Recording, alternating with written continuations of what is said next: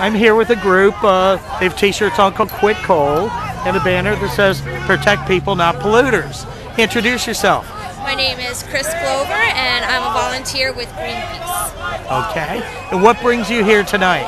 We're here to um, bring awareness to the fact that both candidates have taken dirty energy money from coal and oil industries, and we think that that's just unacceptable. So we're trying to bring and let voters know so that they can speak out against also. All right. Um, Pennsylvania is a major coal state. A lot of jobs here dependent on coal. Uh, would you really expect a statewide candidate here to kind of go against the coal? Well, actually proof that, you know, 81% of Americans, uh, voters, are in favor of renewable energy. And there's statistics that say that moving towards a green energy economy would create more jobs. And there are actually more jobs in wind and solar production than there are in, you know, coal, the coal So, industry.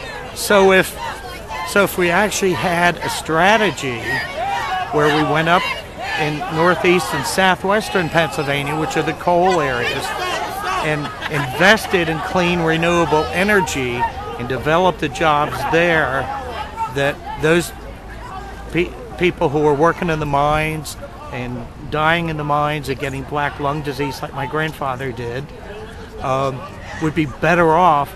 Plus, we'd be better off with cleaner air and less mercury. Exactly. You know, coal is dangerous for, for all Americans involved. You know, the miners who have to go into the mines and, and get it out, and you know, um, just you know, you know, Americans as a whole. So that's why we're trying to raise awareness to right. start looking towards renewable energy sources. So you're here not in favor of either candidate, but just to create awareness for the importance of, of the coal. Yes. What do you have to say about the, all the, especially when I was in northeastern PA during the presidential primaries, they were handing out these clean coal hats and stuff to everyone at the debates and events.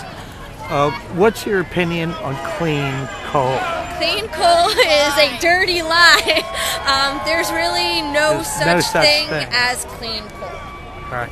Well, thank you very much. Thank you.